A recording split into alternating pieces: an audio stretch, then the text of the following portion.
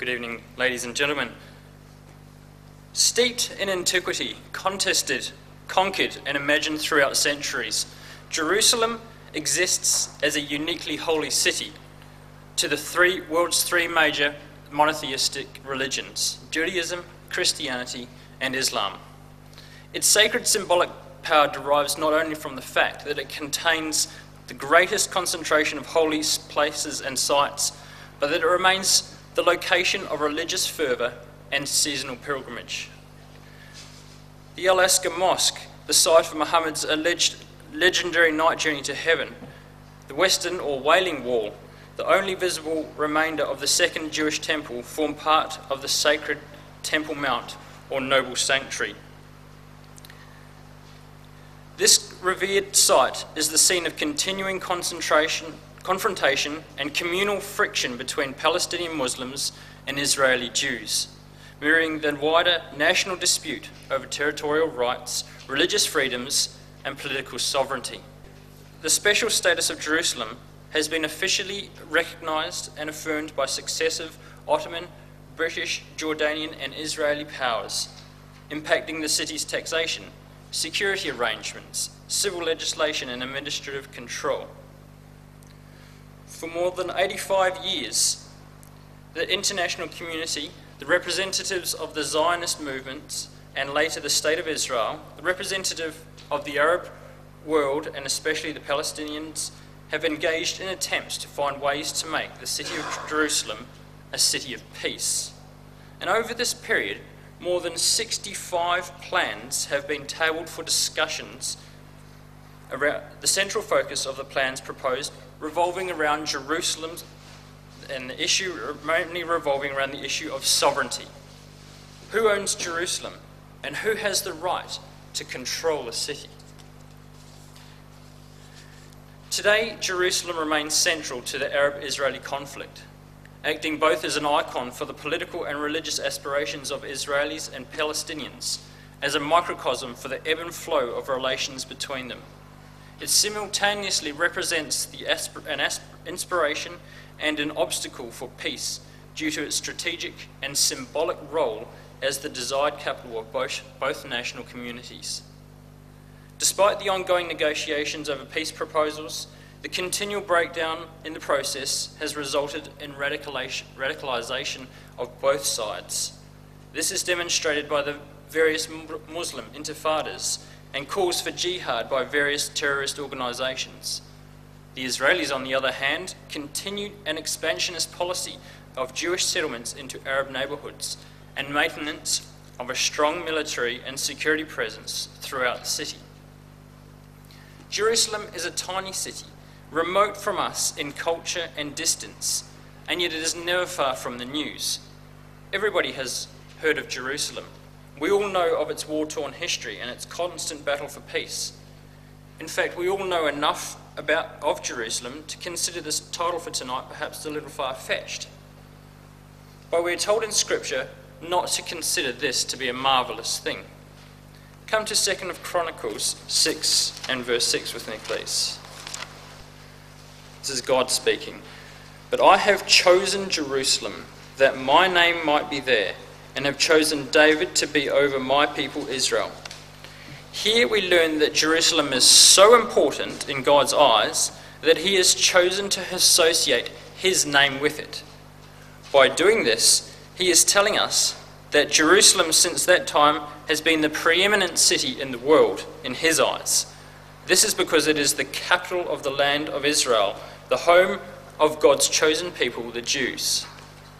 Now, extending this thought further, come across to Psalm 122, a psalm written by King David concerning Jerusalem. Psalm 122, reading verses 6 and 7. Pray for the peace of Jerusalem. They shall prosper that love thee. Peace be within thy walls and prosperity within thy palaces. Here we are told to pray for the peace of Jerusalem. God does not want us to pray for things that are outside of His will. By praying for the peace of Jerusalem, we are praying for the fulfillment of the meaning of the name of the city, for the fulfillment of God's purpose with the city, and indeed the world.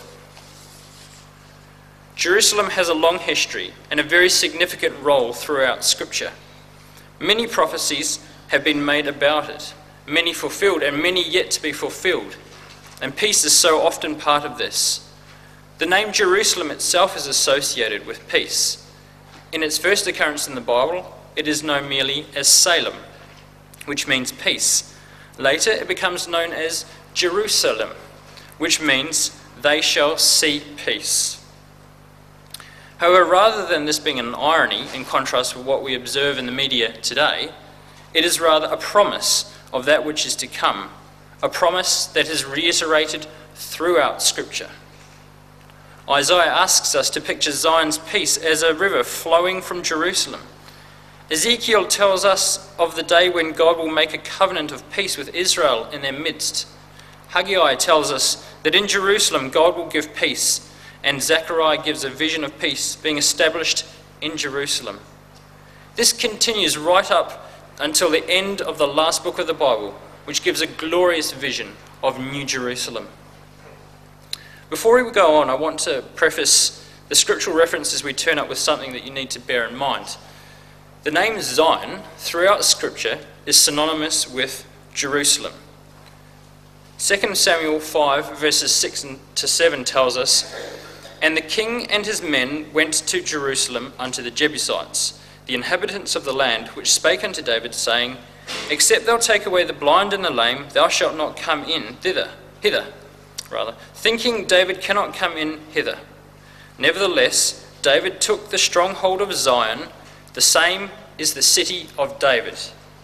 And David then went on to establish Jerusalem as his city, or Zion, as the throne from which he ruled over the land of Israel. Now, did you know that right now Jerusalem is involved in the fulfillment of Bible prophecy?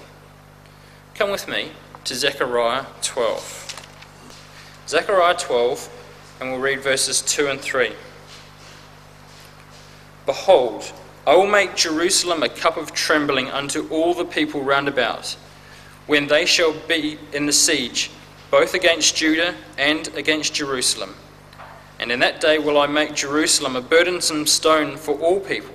All that burden themselves with it shall be cut in pieces, though all the people of the earth be gathered together against it.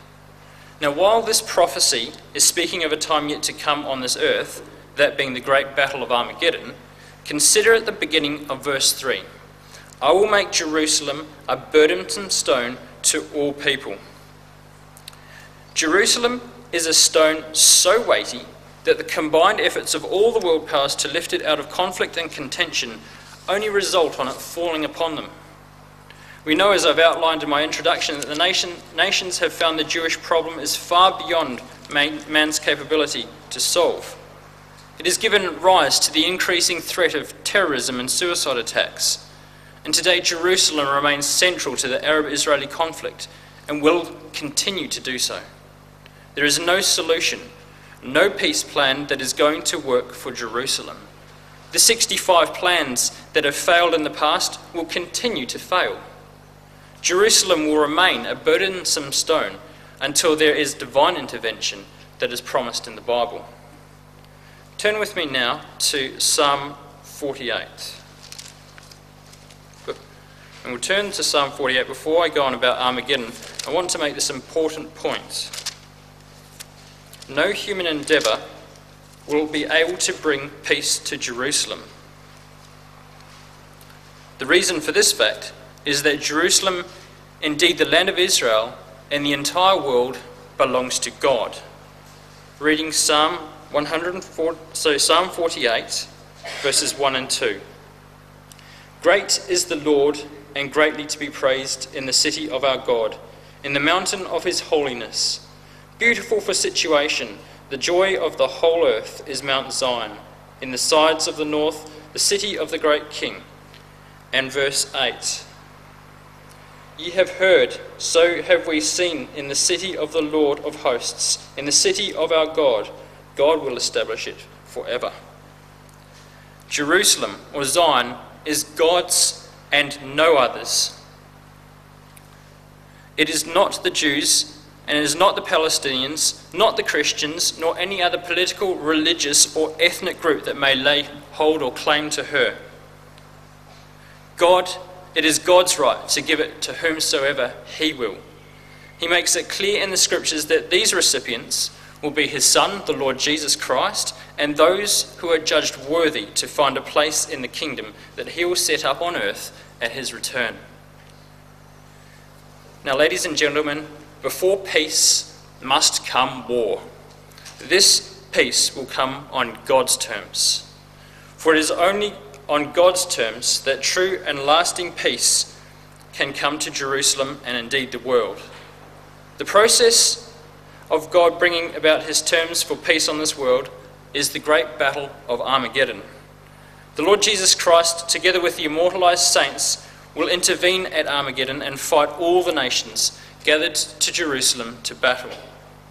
Now, the word Armageddon only occurs once in the Bible. Let's have a look at that in Revelation 16. And we'll read verses 14 to 18. Revelation 16, commencing at verse 14. For they are the spirits of devils, working miracles, which go forth unto the kings of the earth and of the whole world, to gather them to the battle of the great day of God Almighty. Behold, I come as a thief. Blessed is he that watcheth and keepeth his garments, lest he walk naked, and they see his shame. And he gathered them together into a place called in the Hebrew tongue Armageddon. Now, taking the pertinent points from these verses, we see that the whole world will be involved, gathered together in a battle that is termed that great day of God Almighty. Therefore, it occurs at the instigation of God. And we see in verse 15 I, that is the Lord Jesus Christ, will come to the earth like a thief in the night. And verse 16 the Lord Jesus Christ will gather the nations together into a place called Armageddon. And we see that Armageddon is a Hebrew word. And at that time, there will be a great earthquake if you read further down. So, Armageddon is a time of great warfare where God is involved. It is associated with the return of the Lord Jesus Christ to the earth and a great earthquake. And when we examine the Hebrew word Armageddon in Bible lexicons, we discover that it means a heap of sheaves in a valley for judgment. And when we look at verse 14 more closely of uh, Revelation 16, we see that it is really an explanation of what Armageddon is all about. We can see there that God, working through the evil spirit of world leaders, draws the nations together for the purpose of executing his judgment on them. By that process, God, through the great warfare known as Armageddon, defeats the evil that is in the world today. In doing so, God demonstrates to a world that is largely ignorant of him that, and wants nothing to do with him that he is the supreme ruler and in total control. And so God brings into existence his terms for world peace. The result is ultimately that all people everywhere will worship him and live by his laws, so that the mechanism that God uses to ensure that the world accepts the Lord Jesus Christ as the King will rule over the world at peace. Now, Revelation 16, verse 16, stated that the word Armageddon was a Hebrew word. The Old Testament was written in Hebrew. So, what I want to quickly do is look at a passage from the Old Testament in support of what we've just been looking at in Revelation, and that's Zechariah 14. Zechariah 14, verses 1 to 5. Behold, the day of the Lord cometh, and thy spoil shall be divided in the midst of thee. For I will gather all nations against Jerusalem to battle and the city shall be taken, and the houses rifled, and the women ravished, and half the city shall go forth into captivity, and the residue of the people shall not be cut off from the city. Then shall the Lord go forth and fight against those nations as when he fought in the day of battle. And his feet shall stand in that day upon the Mount of Olives, which is before Jerusalem on the east, and the Mount of Olives shall cleave in the midst thereof toward the east and toward the west, and there shall be a very great valley, and half of the mountain shall remove toward the north, and half of it toward the south. And ye shall flee to the valley of the mountains, for the valley of the mountains shall reach unto Azal. Yea, ye shall flee, like as ye fled from before the earthquake in the days of Uzziah, king of Judah. And the Lord my God shall come, and all the saints with thee. The points I want to extract from these verses are that God will gather all nations to Jerusalem to fight against it. Once the atrocities of verse 2 have occurred, God, through the agency of the Lord Jesus Christ and the saints, will fight against those nations. And in the day when this occurs, the Lord Jesus Christ will stand on the Mount of Olives, resulting in a massive earthquake, so powerful that the mountain will be split in two. So, what we have in combination are immortal saints who cannot die, fighting against those who oppose God, and natural disasters which bring low the might and pride of mankind. Thereby, God establishes world peace on His terms, thus ushering in a new world government with the Lord Jesus Christ as the King over all, based in Jerusalem. To summarise, it might seem strange that in a talk on peace I cover Armageddon, perhaps the biggest war the world has, will ever face. But remember, this peace comes on God's terms. Consider the world as a whole today. It would not be receptive to God, Jesus as king, or a new world government. Armageddon is necessary to cleanse the world of evil and bring it into submission to God's ways under Christ. It is a major step in the process by which God will bring about his purpose with the earth. That purpose, as we learn from Numbers 14, verse 21, is as truly as I live, all the earth shall be filled with the glory of the Lord. And we have this repeated for us in Habakkuk 14, 2.14. For the earth shall be filled with the knowledge of the glory of God, adding, as the waters shall cover the, cover the sea. To fill the earth with his glory that is God's purpose. And the means by which He does this? By filling it with humans that exhibit His characteristics perfectly in their lives. Part of God's character is peace, and we learn this from Galatians 5. But what will peace for Jerusalem be like? Let's look at our introductory reading for tonight to commence answering this question. Isaiah 62. In Isaiah 62, the glorious hope for Jerusalem is outlined. This will be fulfilled be in fulfillment of God's promises centered on in his son the Lord Jesus Christ as savior and king. We see that Israel is God's land and Jerusalem the city of the great king. They are to be the center of the coming kingdom of God on earth. Let's read verse 1, and this is God speaking, remember. For Zion's sake will I not hold my peace and for Jerusalem's sake I will not rest until the righteousness thereof go forth as brightness, and the salvation thereof as a lamp that burneth. In verse 2, we learn that the, the, this light will shine forth to the nations, and they will behold the righteousness of God. In verse 3, we learn that the times of the Gentiles will have ended with the great battle of Armageddon. Jerusalem will have become the capital city of the world. It will be as a crown of glory, the royal diadem, the delight of God. In verse 4, we learn that Jerusalem's deliverance this time will be permanent, not like throughout history where it has been conquered and taken captive by successive world empires.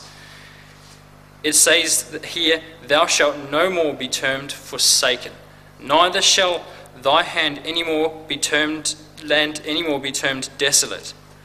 Jerusalem will forever remain in the hands of God's chosen peoples, dedicated to Him in every way.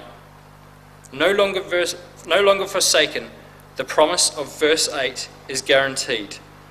The Lord hath sworn by his right hand and by the arm of his strength, Surely I will no more give the corn of the meat of thy, for thine enemies, and the sons of the strangers shall not drink thy wine, for the, for the which thou hast laboured. No longer will those who have no claim or right to Jerusalem have any part in her. Instead, verse 9 teaches us the opposite will occur. But they that have gathered it shall eat it, and praise the Lord, and they that have brought it together shall drink it in the courts of my holiness. What a vision of peace and prosperity! A situation that can only come about because God makes it possible, ladies and gentlemen. At that time, as the end of verse 7 states, God will make Jerusalem a praise in the earth. Continuing to read verse 11 Behold, the Lord hath proclaimed unto the end of the world, Say to the daughter of Zion, Behold, thy salvation cometh. Behold, thy reward is with him, and his work before him. The Lord Jesus Christ applies these words to himself in Revelation 22 and verse 12, where he says, Behold, I come quickly, and my reward is with me to give every man according as his work shall be. He is the promised salvation, and the reward spoken of is the judgment of the responsible. And Revelation 22 and verse 14 goes on to tell us that those who receive the Lord's gift of life are those who do his commandments. But Isaiah continues, and his work is before him. This work of ruling for God in righteousness will be shared by those who at the judgment seat receive the gift of life. For the him at the end of verse 11 changes to them at the beginning of verse 12. And they shall call them the holy people, the redeemed of the Lord. And thou shalt be called sought out, not a sought out, a, a city not forsaken. The fact that the Lord Jesus Christ comes with power when he returns shows that the nations will not willingly lay themselves at his feet. We have already seen that the Battle of Armageddon is a necessary prelude to the reign of righteousness, of his reign of righteousness, and the establishment of peace for Jerusalem. As a result, she will be sought out, not a city, a city not forsaken. Now come back with me to Isaiah 2. Isaiah 2 and verses 2 to 4. And it shall come to pass in the last days that the mountain of the Lord's house shall be established in the top of the mountains, and shall be exalted above the hills, and all nations shall flow unto it. And many people shall go and say, Come ye, and let us go up to the mountain of the Lord, to the house of the God of Jacob, and he will teach us of his ways, and we will walk in his paths. For out of Zion shall go forth the law, and the word of the Lord from Jerusalem. And he shall judge among the nations, and shall rebuke many people, and they shall beat their swords into plowshares, and their spears into pruning hooks. Nation shall not lift up sword against nation, neither shall they learn war any more. Here we see a prophecy of Jerusalem being sought out, a city not forsaken. Jerusalem will, in fact, be the capital of God's universal kingdom, constituting the centre of power, law, enlightenment, and peace for it will become the centre to which all nations will come for instruction in that glorious age. What a dramatic vision of a transformation from conflict to peace. Surely such a transformation is needed for Jerusalem. Rather than being devoted to the manufacture of instruments of war, the city will be given over to agriculture. Nations will not war against each other, and war will not even be taught. This prophecy is echoed in Micah chapter 4. Micah chapter 4, verses 2 to 4. And many nations shall come and say, Come and let us go up to the mountain of the Lord and to the house of the God of Jacob, and he will teach us of his ways, and we will walk in his paths. For the law shall go forth of Zion, and the word of the Lord from Jerusalem. And he shall judge among many people, and rebuke strong nations afar off, and they shall beat their swords into plowshares and their spears into pruning hooks. Nation shall not lift up sword against nation, neither shall they learn war any more. But they shall sit every man under his vine and under his fig tree, and none shall make them afraid, for the mouth of the Lord of hosts hath spoken it. This is a prophecy speaking of the time when all nations will recognize Jerusalem as the capital of the world, the center of all learning concerning God, and the place from which it emanates. Because of this, they will go there to worship God and to learn of his laws. The world will be ruled here from here by the Lord Jesus Christ, and there will no longer be any war in the world. Instead of arms manufacturing, life will involve peaceful pursuits such as agriculture. And verse 4 added a greater level of detail to this glorious vision of the future, of every man sitting under his vine and under his fig tree. Truly, a peaceful prospect. The chapter goes on to say in verse 7 that the Lord will, shall reign in Mount Zion. This prophecy is repeated so often in Scripture then there can be no, that there can be no doubt about it at all. Reading verse 11, Micah 4 and verse 11. Now also many nations are gathered against thee, that say, Let her be defiled, and let our eye look upon Zion. Again, we see many nations shall be gathered against her for war. But we read further in verses 12 and 13. But they know not the thoughts of the Lord, neither understand they his counsel. For he shall gather them as the sheaves into the floor. Arise and thresh, O daughter of Zion, for I will make thine horn iron, and I will make thy hoofs brass, and thou shalt beat in pieces many people. And I will consecrate their gain unto the Lord, and their substance unto the Lord of the whole earth. God is in control. It is God's city, and it is He who will gather them as sheaves, as we saw when we looked at the great battle. Again, a reference to Armageddon. A heap of sheaves in a valley for judgment. The sheaves or nations will find Jerusalem a very burdensome stone. Come across to Zechariah chapter 2. Here we have further details to expand our vision for Jerusalem. Zechariah 2, and we'll read verse 4. And said unto him, Run, speak to this young man, saying, Jerusalem shall be inhabited as towns without walls, for the multitude of men and cattle therein. Jerusalem is to be inhabited as villages. It is not merely to be a temple, but a real place for real people to live in, to dwell safely and in harmony with each other. In verse 8, we see the significance of Israel as the apple of God's eye. And verse 12 confirms this for us. And the Lord shall inherit Judah, his portion in the Holy Land, and shall choose Jerusalem again.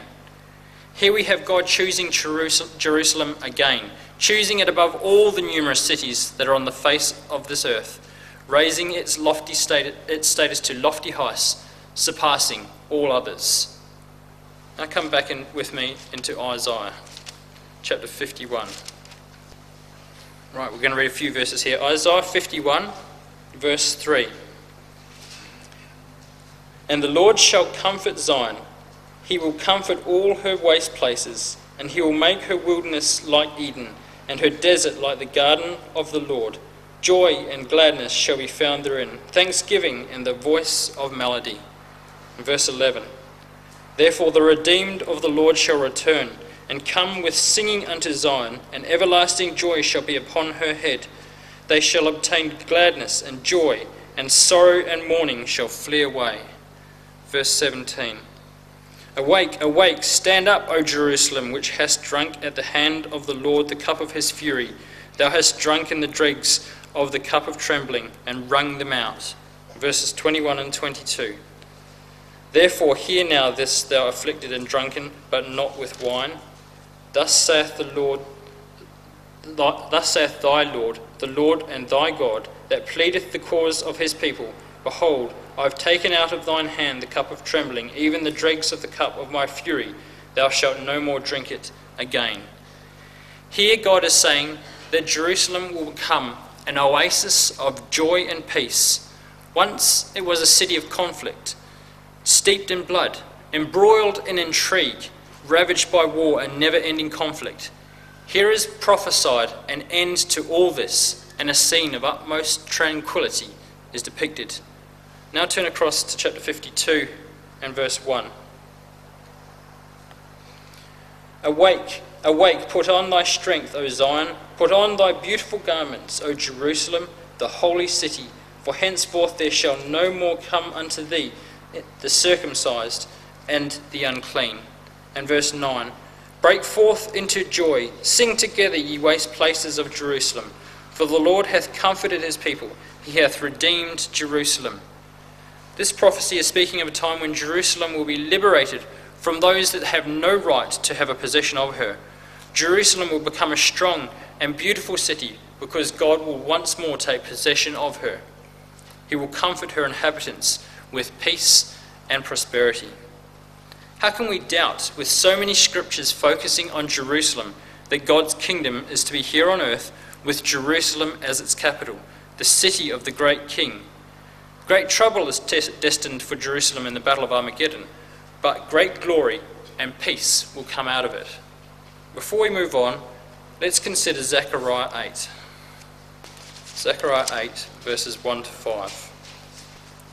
Again, the word of the Lord of hosts came unto me, saying, Thus saith the Lord of hosts I was jealous for Zion with great jealousy, and I was jealous for her with great fury. Thus saith the Lord I am returned unto Zion, and will dwell in the midst of Jerusalem, and Jerusalem shall be called a city of truth, and the mountain of the Lord of hosts, the holy mountain. Thus saith the Lord of hosts There shall yet old men and old women dwell in the streets of Jerusalem, and every man and his with his staff in his hand for very age. And the streets of the city shall be full of boys and girls playing in the streets thereof. We see here a vision for Jerusalem far from the reality which it faces today. Verse 2 tells us that God is jealous for Jerusalem with a great jealousy. That is because, as we have seen from previous quotes that we've looked at, Jerusalem forms part of the apple of his eye and is the city where he has chosen to put his name above every other city in the world. In verse 3, we have reiterated for us that Jerusalem is God's holy city. It will become the place where the immortalized saints who reflect his character and glory will reside and it is through them that he will dwell there. Verse 4 presents to us a picture of peace, security, and longevity, quite the opposite to what we see today. In fact, in having a look at these verses, it prompted me to do a quick internet search, which revealed that the median age for Jerusalem in 2011 was 24 years. That means that 50% of the population was under 24 and 50% above. So, quite a young population. Contrast that to Perth in 2013, 35.5 years was the median age. So, quite a significant difference. I think these statistics are telling when we consider how safe Jerusalem is currently to live in. Clearly, old age is not something readily achieved. The age of the people prophesied in this verse is such that they need a staff for support, picturesque of a contented community respecting the aged in security and safety. And verse 5 shows us an idyllic scene of children playing in the streets of Jerusalem. Few cities in this world will be safe enough to play, allow children to play in their streets. I wouldn't allow my kids to play in the streets of Perth, let alone Jerusalem. And yet, God has promised that it is not only possible, but certain. What a scene of happiness, joy, and contentment in the peaceful environment to come to Jerusalem. Ladies and gentlemen, tonight's topic, however, is much broader than just Jerusalem.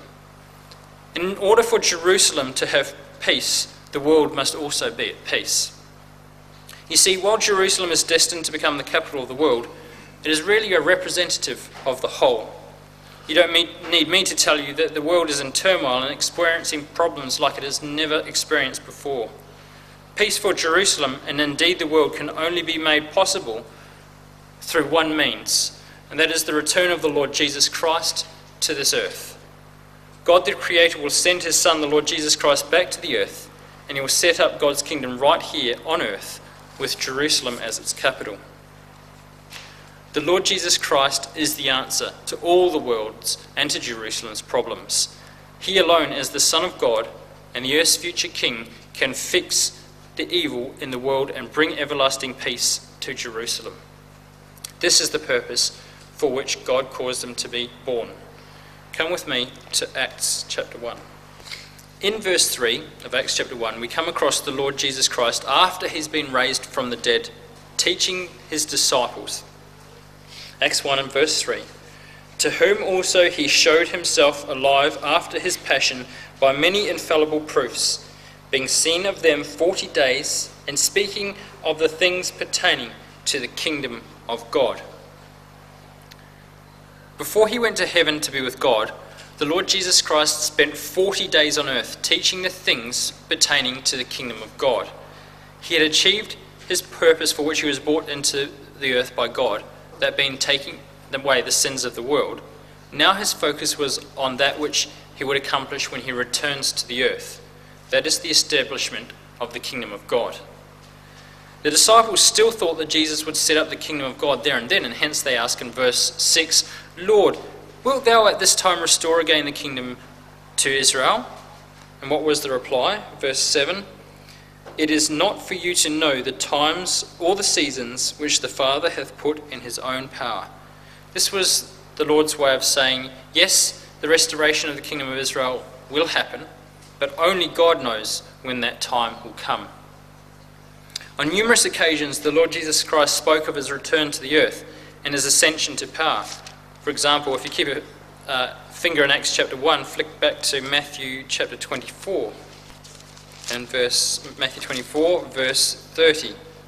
And then shall appear the sign of the Son of Man in heaven, and then shall all the tribes of the earth mourn, and they shall see the Son of Man coming in the clouds of heaven with power and great glory. And just across the page to chapter 25 and verse 31 When the Son of Man shall come in his glory, and all the holy angels with him, then shall he sit upon the throne of his glory. The key words of these passages stand out clearly. The meaning is obvious. See the Son of Man coming with power and great glory. Then shall he sit upon the throne of his glory.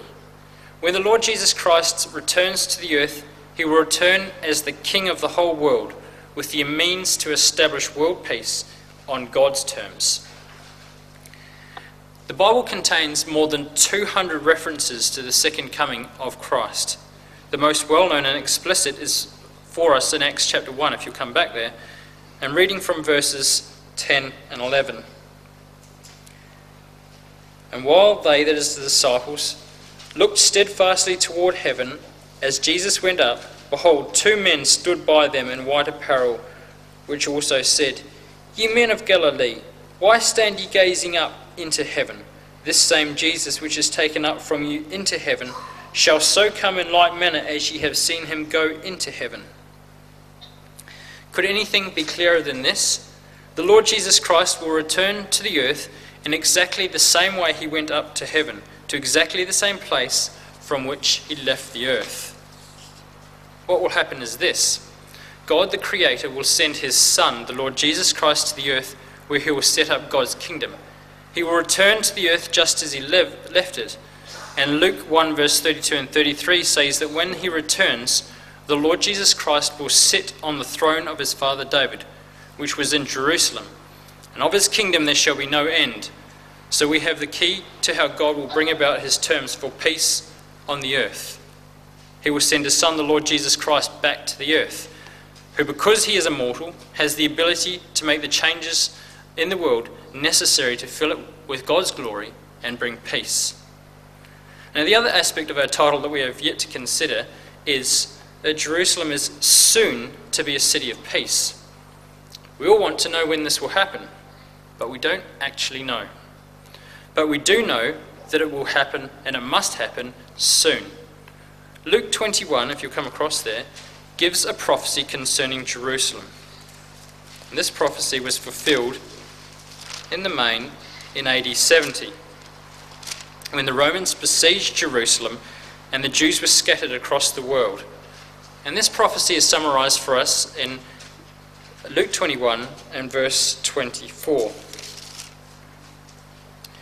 and they shall fall by the edge of the sword, and shall be led away captive into all nations. And Jerusalem shall be trodden down of the Gentiles until the times of the Gentiles be fulfilled. The key we want to look at is, and Jerusalem shall be trodden down of the Gentiles until the times of the Gentiles be fulfilled. This began to be fulfilled in 1948 with, when the State of Israel was declared. And then in 1967, when East Jerusalem also became under the control of the Jews, Jerusalem was no longer entirely trodden down of the Gentiles, it was in Jewish hands. Consider then the next few verses, which must chronologically relate to times since 1967, reading verses 25 and 26. And there shall be signs in the sun, and in the moon, and in the stars, and upon the earth distress of nations with perplexity, the sea and the waves roaring, men's hearts failing them for fear, for looking after those things which are coming on the earth, for the powers of heaven shall be shaken. Now, the heavenly bodies spoken of here are symbolically used throughout the scripture to describe political and religious powers. The sea and the waves speak of people and nations, and these verses certainly describe the world in turmoil today. Now, reading verse 31. So likewise, ye, when ye see these things come to, things come to pass, know ye that the kingdom of God is nigh at hand. This is telling us that the Lord, return of the Lord Jesus Christ to the earth to set up God's kingdom and usher in the age of peace is nigh at hand because these things are coming to pass. Reading on in verse 32 Verily I say unto you, this generation shall not pass away till all be fulfilled. Here we see that the generation that sees these things will not pass away until Christ has come. We, ladies and gentlemen, are witnessing these things occurring in Jerusalem and the world right now. We are fully confident, therefore, that the Lord Jesus Christ will return to establish Jerusalem as a city of peace in our lifetime. Verse 33 Heaven and earth shall pass away, but my words shall not pass away. What further assurance can we possibly need? God has spoken it, therefore it will happen. We can trust the word of God. He is faithful to fulfill all these things and will come and it will come to pass. We can have confidence that while we do not know the day or the hour, the day is at hand and Jerusalem will soon be a city of peace. Tonight we have set before you the hope that we have bound up in Jerusalem. Jerusalem is a city close to the hearts of those who love the Bible and who worship God in truth. We have seen that the future of Jerusalem is beautiful, even though down through history it has been known it is and now is plagued by struggles and wars, and for this reason is constantly the center of world attention. But for all the fighting and struggling, Jerusalem is God's city, and He and He alone will create its peaceful future. What a glorious future that is in store for the world and Jerusalem. The return of the Lord Jesus Christ to the earth to reign from Jerusalem will herald a time of peace such as the world has never known since mankind has been put upon it. Jerusalem will be the political and religious centre of, for the world. God's laws will emanate from it and be taught to the nations the whole world will be united in worship and teaching of God. Men will worship at the temple to be set up at Jerusalem. Jerusalem will one day have peace, but it will not be through the efforts of men. This is an awesome hope that can inspire us despite the darkness of the world around us. That future, as we have seen, includes a worldwide dominion with Jesus Christ as King. And through him, we can have the opportunity of eternal life in that kingdom. This is the hope of the gospel that we extend to you tonight. The call of the gospel is an invitation to accept the way of the Lord Jesus Christ as, and become associated with his glorious future. Those who willingly heed the call of the gospel are baptized into the name of the Lord Jesus Christ and live a, and live a life of obedience to his commandments and have an opportunity and a hope to gain eternal life. Together with Christ, those who are made immortal will rule the earth from the world's future capital, Jerusalem, the city of peace.